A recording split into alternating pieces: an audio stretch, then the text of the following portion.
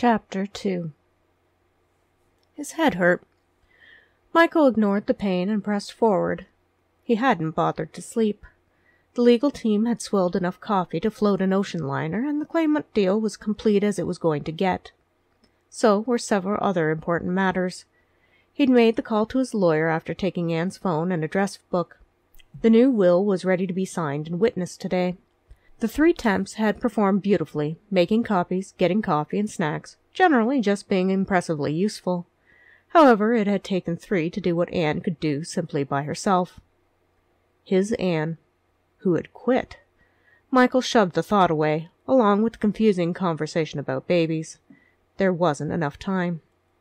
He'd scheduled an emergency board meeting for Thursday morning at six. Most in the board were unimpressed with the early hour, and some wondered if there was an issue with the Claymont acquisition. Michael didn't bother to explain. However, there was one important person that he needed there. When Michael had stepped into his father David's role as head of the company, David had handed over his controlling shares. As a result, Michael now had 31% of the vote. Noah had 10%. Max had 10% but didn't know it. When Max had left the company, he had sold his shares. He had needed the money to supplement a fund that would pay for the medical fees of each child who had suffered because of a drug that the company had put into market. The drug was designed to help children with diabetes metabolize correctly. Instead, it had been pushed through too fast, and incorrect lab results had been created. The drug shut down kidneys and livers, causing death to hundreds of children. In court, the company had proven that the drug wasn't responsible for the issues these children were having. Michael knew that his father, David, had had a hand in the cover up, and had vowed that under his tenure as head of the company it would never happen again. Max had felt responsible, and in the end had given literally everything he had, and everything he earned over the next six years to the fund to aid these families. To help Max start the fund, Michael had a fictitious company made up in Max's name to purchase the shares for him at a slightly above market value.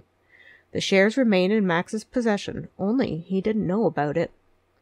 Now Michael needed his vote. So, right after the trip to the lawyer, Michael was in the car with the driver driving him to Paget Williams's apartment.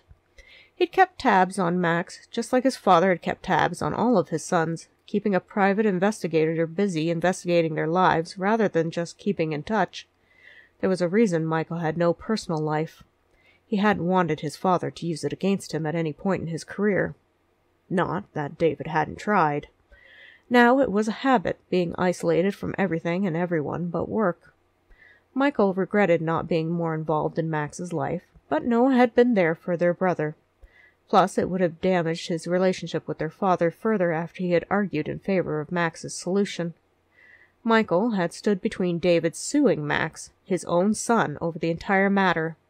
No one knew except Michael and David. Michael had also managed to quietly pull the drug off the market, citing legal concerns. It had been difficult and time consuming, but it was the right thing to do. He admired Max's conviction and resolve. He admired the way Max could stand up for what was right, ignoring the consequences. Michael simply wasn't that man. He weighed the consequences continually. The car drew to a halt near a tired park. Everything was tired here the buildings, the people. It was a shabby but neat neglect. Slowly the neighborhood was descending from its previous splendor, perhaps forty or fifty years prior. Max lived here with his fiancée, Paget, a previous society girl who was widowed and down on her luck. Together they made a wonderful couple. They seemed to make each other happy if the PI's reports and photos were correct. He knew that Noah and Elle had befriended the couple. Michael walked through the park, ignoring an old man who slept on the bench. At the apartment building entrance, he went to buzz the correct apartment when an old lady, pushing a walker, went through the door. Michael took the opportunity to simply enter. Max would be less likely to turn him down in person. It took only a few moments and two flights of stairs to reach Paget's apartment. Michael hesitated, drawing a deep, calming breath, and then knocked firmly. There was laughter from inside, and he could hear Max say, I'll get it in just a minute.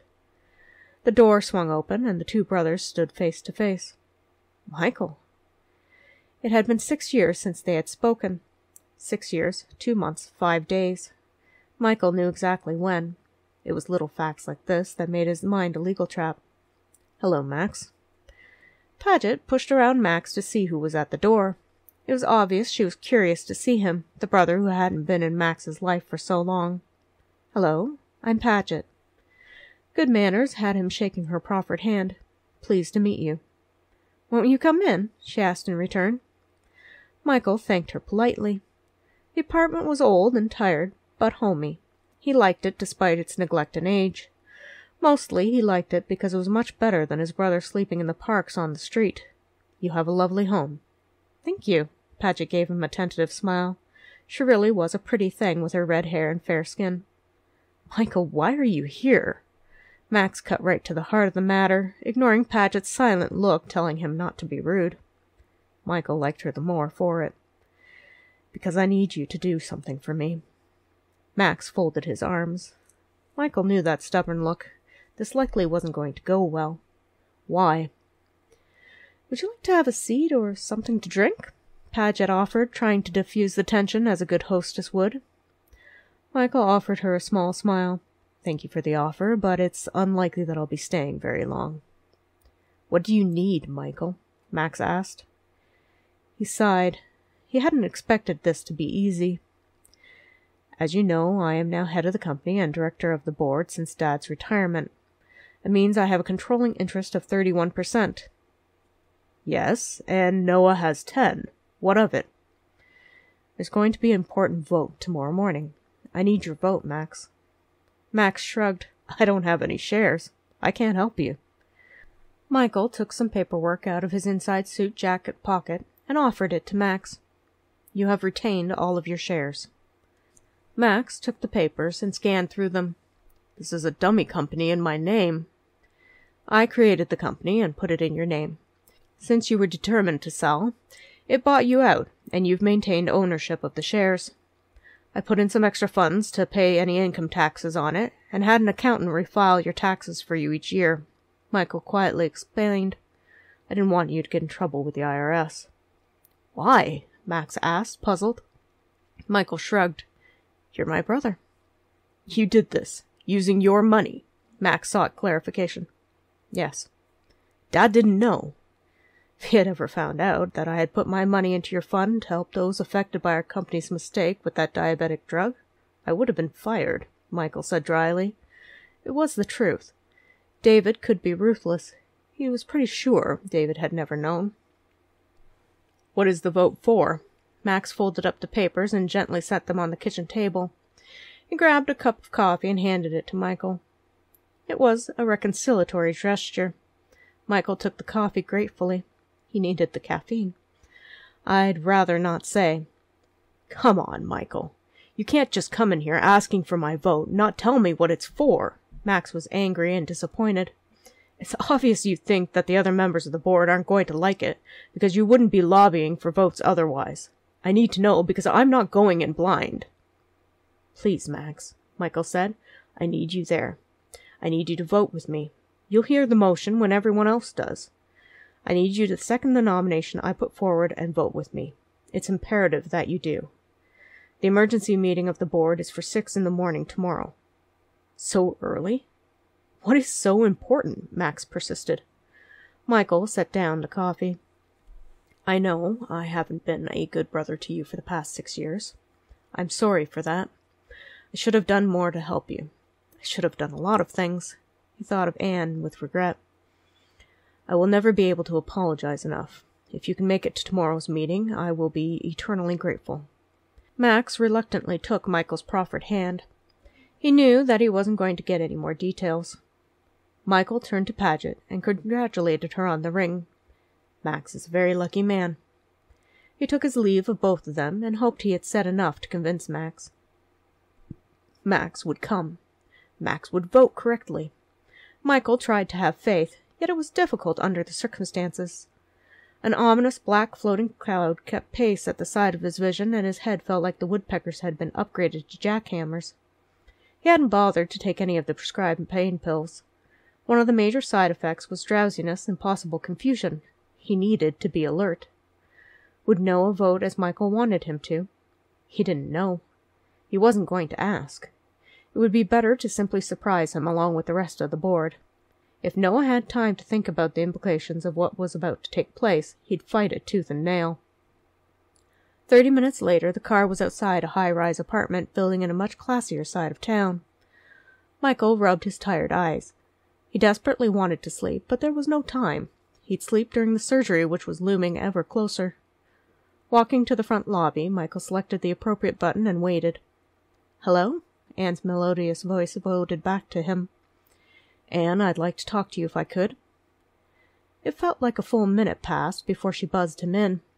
A short elevator ride, and he stood awkwardly outside her door before knocking.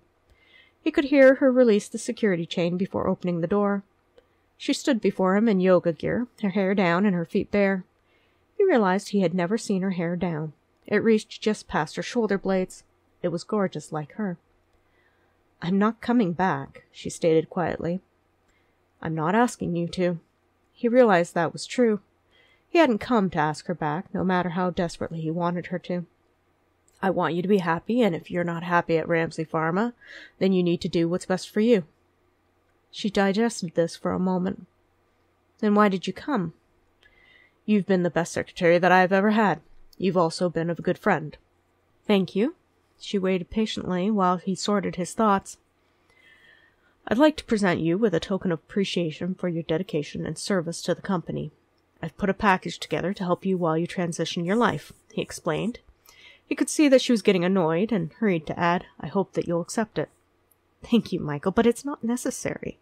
It is necessary, he insisted, and I can never thank you enough for all that you've done for me. Please accept this gift. She looked so disappointed rather like the time he had come to pick her up for their first social occasion outside of work. He explained it as a learning experience to get her to know clients better, but he'd really wanted to show up the country club with her on his arm. She'd worn some frothy peach dress that had hugged her curves and showed it off with an expectant ta-da, and he'd stood there dumbstruck, unable to give voice or words to the vision that was before him. The moment had passed, and no matter how he had tried to compliment her after, it had fallen flat. She had been very disappointed then, and he'd never been able to make it up to her. He had the feeling that he disappointed her a lot, and he wasn't sure why. Ann sighed. Fine, okay. Good. I'll see you tomorrow morning at six o'clock in boardroom C. He quickly retreated. What, wait? I thought you were going to give me this gift now, she called as he left. Boardroom C, 6 a.m., he called back over his shoulder as he walked briskly down the hall. She would come. Ann was too curious to do otherwise. Michael nearly smiled in satisfaction as he rode the elevator back to the ground floor. Now, to clean up a few other pieces before the big reveal in the morning. He ignored the black spectre that rode the elevator with him. At precisely six in the morning, Ann made her way to boardroom C. She didn't want to delay this any longer than necessary. She'd settled on a braid, blouse, jeans, and ballet flats. She no longer worked at Ramesly Pharma, therefore she didn't feel the need to dress formally. Inside the boardroom, the board of controlling share members were gathered, and Ann halted. Michael must have made a mistake. She'd never been invited to a board meeting. Secretaries didn't attend such meetings. She didn't see Michael in the boardroom, so she turned around to go to Michael's office and bumped into someone. Taking a step back, she was surprised to see Maxwell Ramesly. Ann!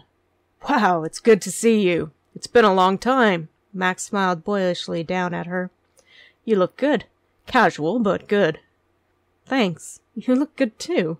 How have you been? She was surprised that Max was in the building. As far as she knew, he and Michael were still estranged. Curiosity bubbled up. What was Max doing here? Great. I've met an amazing, beautiful woman who has agreed to help me retire my bachelor life. Can I send you an invite to the wedding? he asked. Ann blinked. The playboy had fallen hard. She was interested to see the woman who had managed it. Sure, I'd like that. Noah came walking down the corridor, sipping a coffee. When he spotted Ann and Max, he paused in surprise before coming over to them. Max, is there something going on that I should know about? I'm here at Michael's request, Max explained. I take it you're in the dark about this board meeting, too? Why would Michael need you at a board meeting? Noah got right to the point. You'll find out soon enough. Michael came up behind Ann and laid his hands on her shoulders. He steered her in front of him into the boardroom. Michael, I don't think I'm supposed to be here, Ann whispered. It's fine. There's a seat right here for you. Michael pulled out a chair and gently pushed her into it. Max and Noah sat down as well, and there were some murmurs of surprise and recognition from other board members as they saw Max. Michael cleared his throat, standing at the head of the table. Thank everyone for uh, coming out to this emergency meeting so early in the morning. I have two items to table today, so this meeting should be very brief. Before I do, I'd like to welcome Max back to the directors' meetings. As you all know, Max is still a shareholder of this company. There was a pause to acknowledge this before Michael continued. First, I'd like to thank Ann Schaeffer for her years of service and dedication to this company. She has been and continues to be an outstanding member of the team. In recognition of her achievements, I'd like to transfer all my controlling shares to Miss Schaeffer. There was a shocked silence. Michael owned the most controlling shares. The net financial worth of the shares was huge. The direct sway for vote in the company was the envy of many of the board members. To give all of his shares to a secretary? Unheard of. You can't be serious, Ozit said, sputtering. Michael, maybe you should think this through, Gaines tried to reason. Ann sat there dumbfounded. I need someone to second my motion. Michael looked directly at Max. Please. Max didn't have to ask Michael if this was what he wanted. He knew. Even though they had been estranged from each other for six long years, Max knew that Michael would never ask for something like this, something this major for the company and for himself, unless he had thought it out completely. He didn't understand why Michael would do this, but he would support him. I second the motion. What? Noah exploded. Michael, really? Michael cleared his throat and held up a hand.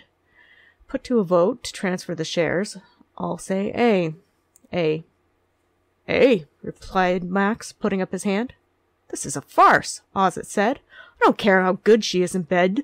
You can't just transfer your shares to her. All three Rameslys glared at Ozit.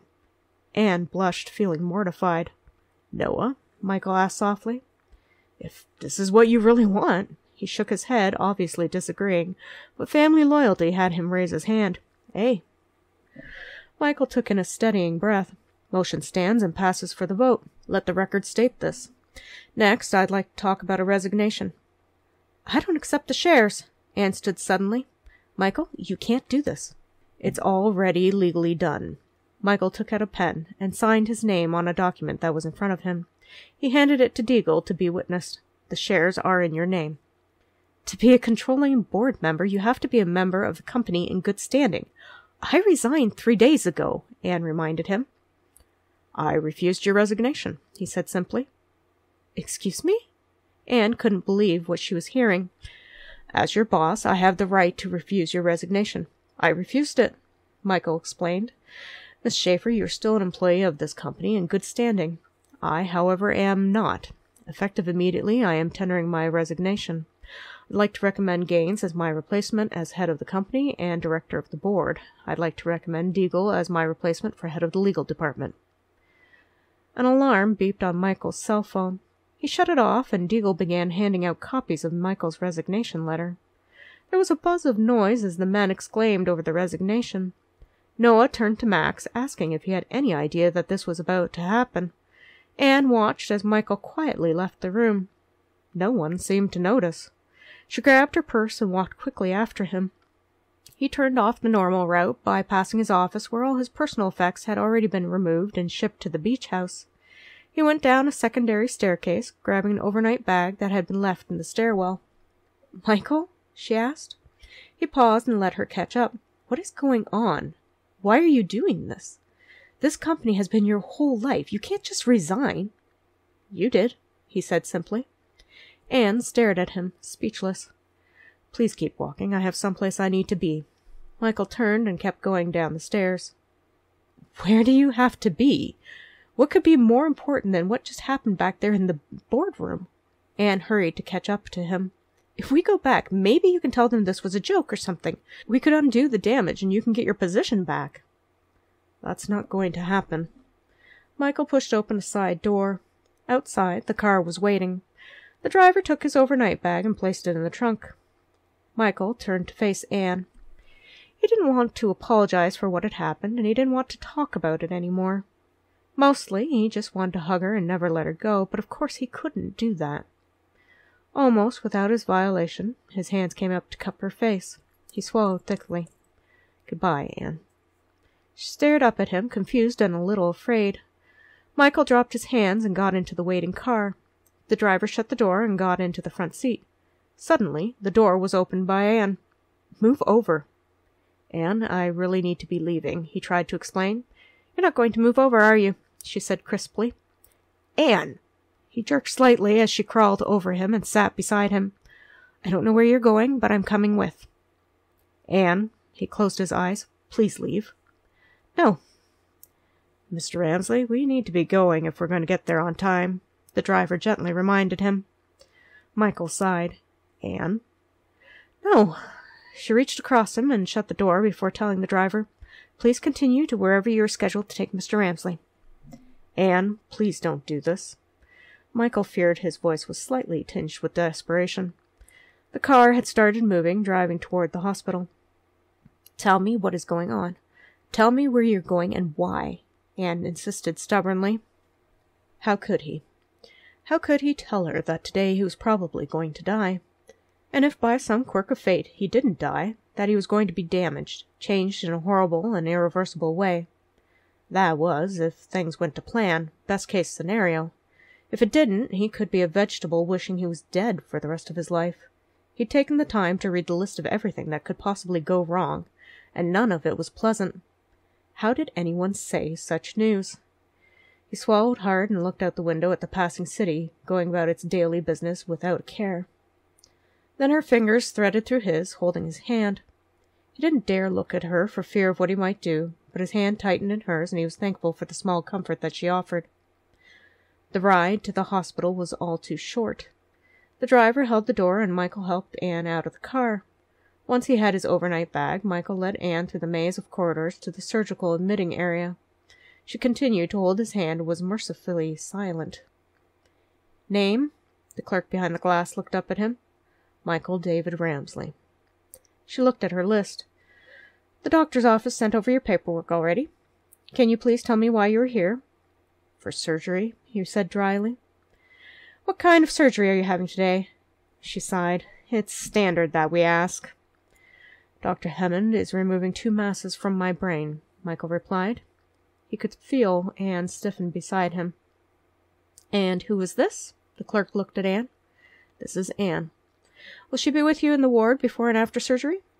Yes, Ann said firmly. Her other hand crept around and held onto his arm tightly. Yes, I will. Thank you. Please wait in the waiting room across the hall. A nurse will be with you shortly. They turned and went to the waiting room.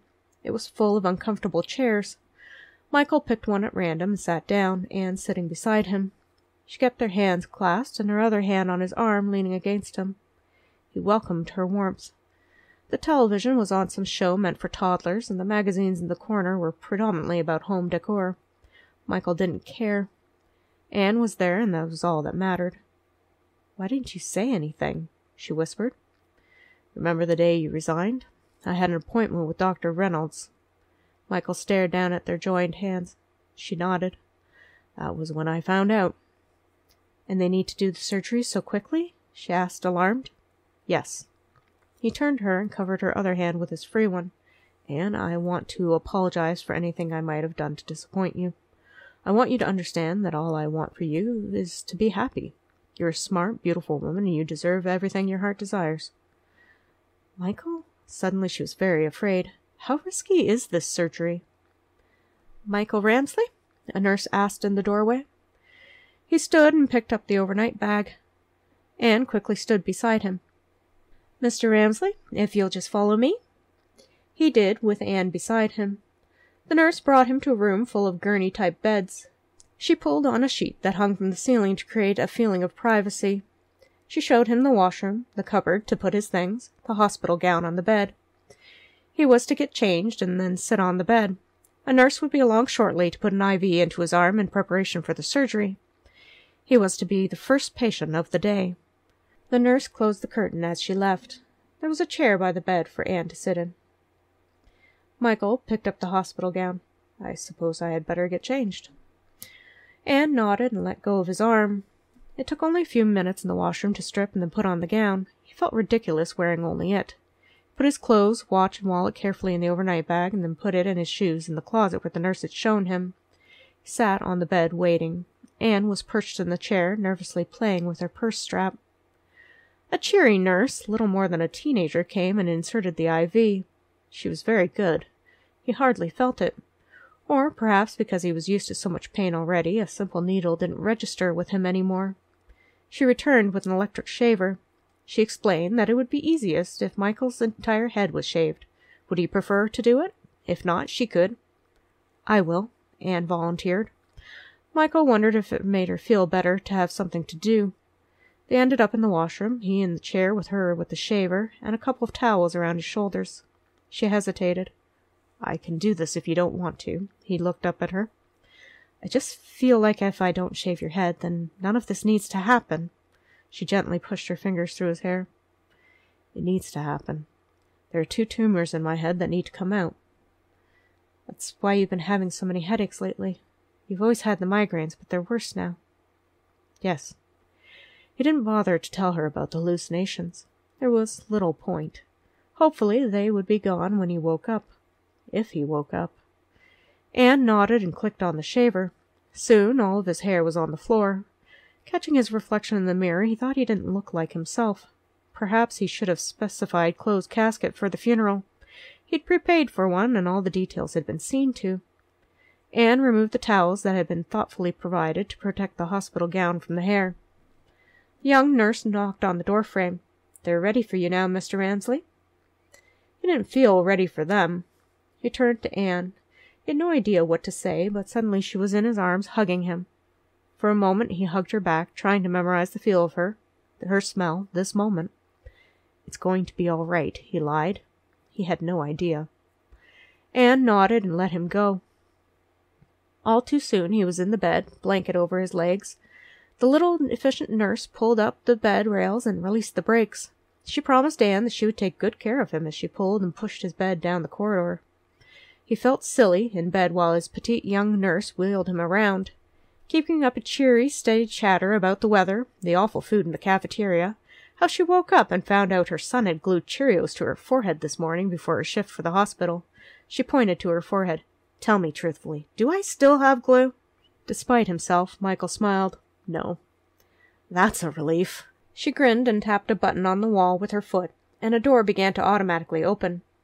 Well, Mr. Ramesly, I'm sorry, but I have to hand you over to the OR nurses. I'll see you when you get back out of surgery. Will you check on Ann while I'm in surgery? he asked suddenly. Sure. You and your wife are so sweet. The two other nurses came to wheel him into the room, and he didn't bother to correct the young nurse as she bounced away, humming a tune. Good morning, Mr. Ramesly. The nurses had him transfer himself to the other bed. They were older, more serious about their job. He was made comfortable as he could be under the circumstances. Then the anesthesiologist came and explained how they were going to put him to sleep during the operation. He put the mask over Michael's face and asked questions. What do you like to do? Sailing, jogging, reading, Michael answered by rote. Suddenly he added, I write. He never told anyone that he wrote. What do you write?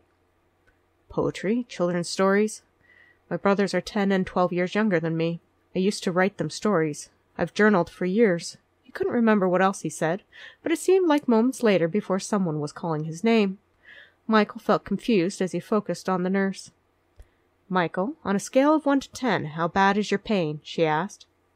Pain, he repeated.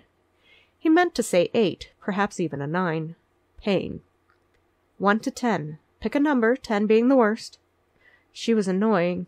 Perhaps he should say nine. His head did hurt rather badly. Pain. Pain. Suddenly the noise in the operating room stilled.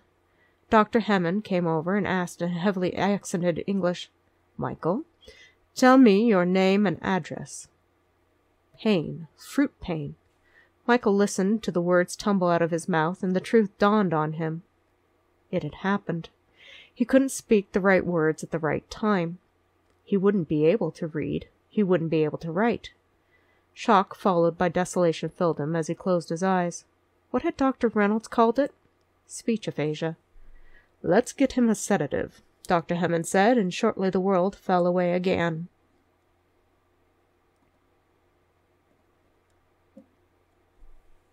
Thank you for listening. If you enjoyed this chapter, please look for the next chapter of Words Unspoken.